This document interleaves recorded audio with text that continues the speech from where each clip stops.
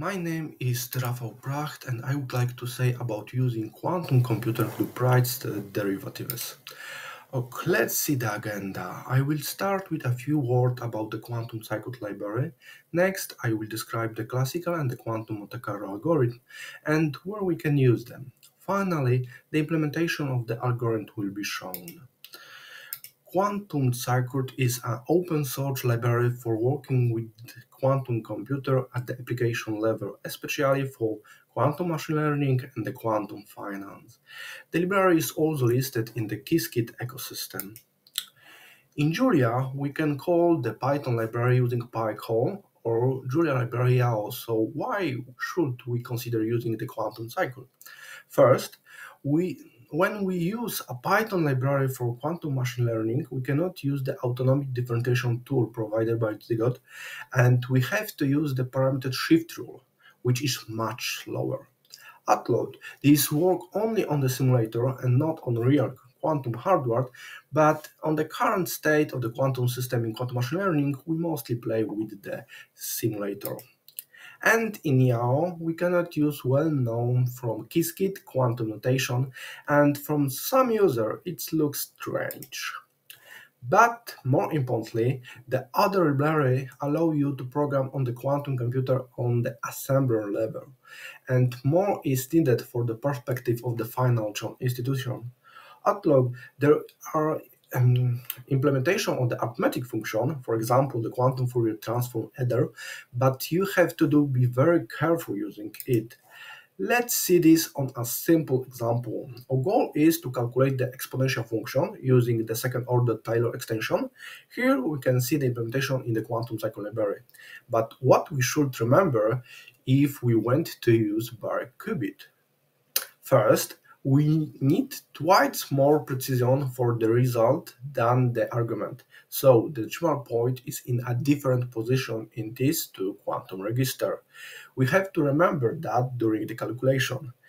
The divide by 2 can be done virtually by moving the position of the decimal point in the quantum register without any operation on quantum hardware. But after that, we must remember that the decimal point is in the other place for the future operation. Maybe this is not difficult, but is definitely burdensome, especially when we would like to load stochastic differential equation on the quantum computer and we would like to play, not to play it with, with qubit.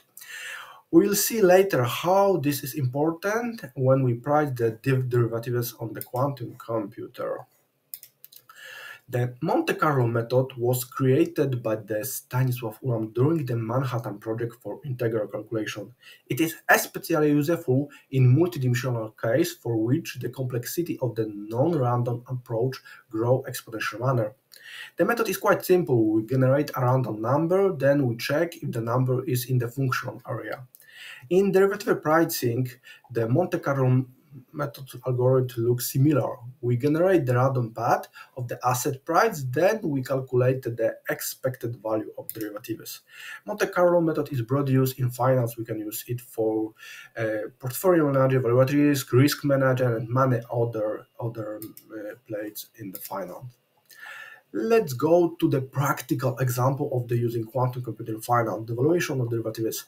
An option contract is the right to buy or sell share bond of currency for a fixed price on a particular date. There are many types of option contract, European, Asian, American, and only the simple one can be priced analytically for the other. The Monte Carlo method is used. There is one point to note. We don't try to predict the future when we price the option. And our goal is to find dynamic trading strategy that replicate the value of option at any case of the future price of undering. And we can show that the problem of finding the dynamic hedging strategy can be solved solved by finding the expected value of the future stock price under the risk-free probability measure. But this is not the real probability measure which you can see uh, on the real market. The quantum algorithm looks similar in fashion to the classical one. First, we load the probability distribution um, of the underlying asset. Next, we calculate the value of the payoff. It's worth to note that the payoff function are calculated at the same time for all paths. Next, we have to do aggregation of the value and calculate the expected value of the option. The last step is to use quantum amplitude estimation algorithm to extract the option price from quantum computer. Okay, let's see the implementation. One of the most challenging part of the algorithm is distribution loading. Now I show you how we can do this in Julia. We aim to generate the path of asset model with this stochastic differential equation where the volatility depends of the time, Uh, where W is a Brownian motion. The first step of algorithm is to discretize, discretize this stochastic differential equation using the Euler schema and convert it to logarithm from using the Ito rule. Then we use the quantum binomial tree algorithm. For each time step, we allow the underling to go up or down depending on the coin toss, up for example for head, and down for tail, and we chose the parameter u and d so that the generated Bernoulli distribution are aggregated with the, the zeroth one uh, to the second moment. Okay, now we are ready to see the implementation. First, we run the coin toss using the Hadamard gate. Uh, we initialize our stock price with the value at time zero. And then for each time step, we generate the uh, volatility and use it to calculate parameter U and D. After the final value of logarithm of stock price is generated, we have to calculate the exponential value of it. It works something that we don't have to remember where the decimal point is here. We can simply use the quantum register and the addition function.